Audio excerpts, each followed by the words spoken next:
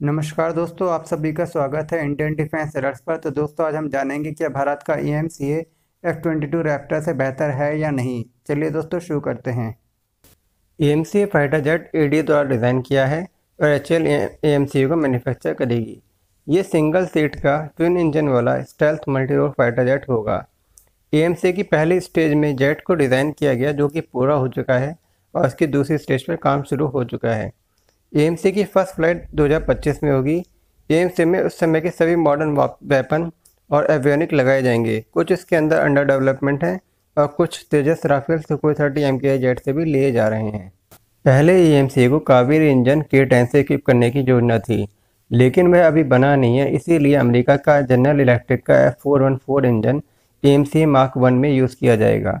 वहीं A M C mark two में कावेरी के टेन इंजन को लगाया जाएगा। अगर वह 2035 तक बनने में सफल हो जाता है तो अगर सेंसर और रडार की बात करें तो एएमसी में सेंसर, रडार और missile technology Israel, India, Russia, France की मिलीजुली होने वाली है।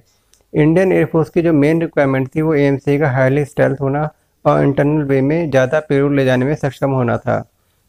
और एएमसी का एयर टू एयर रोल और एयर टू ग्राउंड रोल करने में भी सक्षम होना चाहिए। साथ ही ए सुपर क्रूज करने में सक्षम हो। इनिशियली इसका डिज़ाइन टेललेस डेल्टा विंग के साथ में था। इसमें डबल इंजन लगे थे और फिर इसके डिज़ाइन का ratio thirty eight zero one था। इसके डिज़ाइन के अंदर चेंज करके इसके अंदर हॉरिजॉन्टल और वर्टिकल स्टेबलाइज़र ऐड किए गए।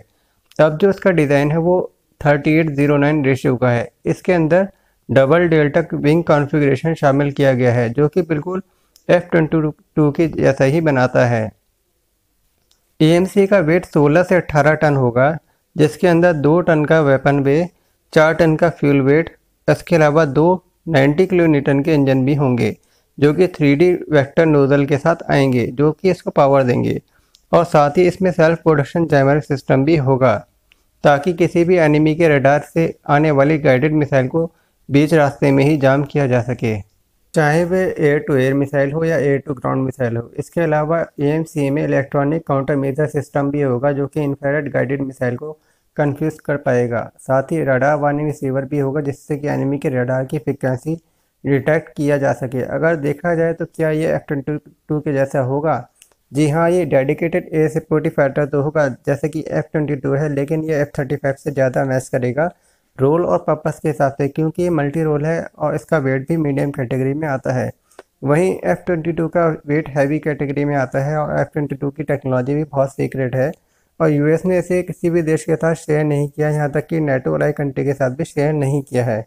A M C A India का इनिशियल प्लेटफॉर्म है फिफ्थ जनरेशन फाइटर जेट के लिए, इसलिए ये माना जा रहा है कि ये एफ़ ट्वेंटी टू के जैसा तो बिल्कुल भी नहीं होगा, लेकिन एफ़ थर्टी फाइव से इसकी फिर भी कुछ समानता हो सकती हैं।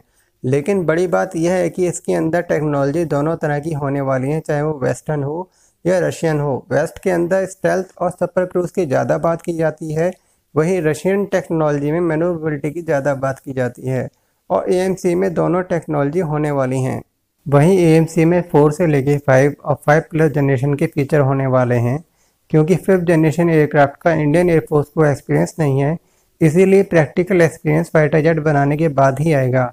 इसीलिए इसके अंदर जो भी फीचर होने वाले हैं, वो टेक्निकल होंगे। यूएस ने 1980 के दशक में फिफ्थ जनरेशन फाइटर बनाना शुरू किया था तो उसके पास 60 सालों का अनुभव था।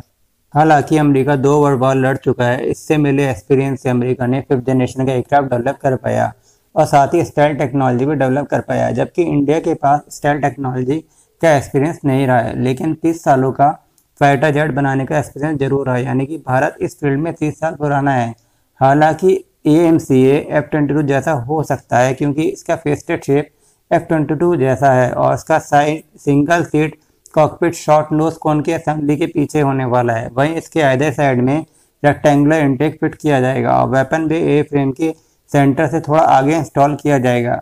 इसकी aerodynamic energy manoeuvrability F twenty two जैसी होने वाली है, और ए के AMCA में थ्री डी इंजन लगाया जाएगा, जिससे ए को एक्सट्रीम मैनरेबल बनाया जा सकेगा। और ए की बॉडी इस तरह की मटेरियल से बनाई जाएगी जो रडार वेव को एब्जॉर्ब कर सके। इसके अलावा ए पर रैम कोटिंग भी की जाएगी। ये बहुत क्रिटिकल टेक्नोलॉजी है। इंडिया ने इस तरह की कोटिंग बिग 29 तेजस पर लगाने के लिए डेवलप किया था और अभी भी ये अंडर डेवलपमेंट है। एएमसी को electronic warfare suite defence avionics research establishment ने डिफेंस इलेक्ट्रॉनिक रिसर्च लेबोरेटरी के साथ मिलकर बनाया है और इंडिया ने ऑलरेडी मायावी इलेक्ट्रॉनिक वॉरफेयर सूट तेजस के लिए बनाया है। और इन दोनों को एक साथ करने की ज़रूरत होगी। इंडिया ए के लिए नेटवर्क सेंट्रिक आर्म फोर्सेस बनाने की कोशिश कर रहा है। और ए को इसी तरह की कैपेबिलिटी से लेस किया जाएगा। इंडिया ने 2010 के अंदर अपने आर्म फोर्स नेटवर्क को इंस्टॉल किया था। एम शुरुआत में F twenty two F thirty five जैसा नहीं होगा। उनसे थोड़ा कम हो सकता है, लेकिन फ्यूचर सिनारियों के लिए रेडी होगा। एम सी मार्क टू में सारी फिफ्थ जनरेशन वाली खासियत होंगी जो कि F twenty two F thirty five में है। दोस्तों, आपको वीडियो कैसा लगा? अगर अच्छा लगा है तो वीडियो को लाइक कीजिए, चैनल को सब्सक्राइब कीजिए। आखिर तक देखने के लिए आप सभी का धन्यवाद। जय हिंद, जय भारत।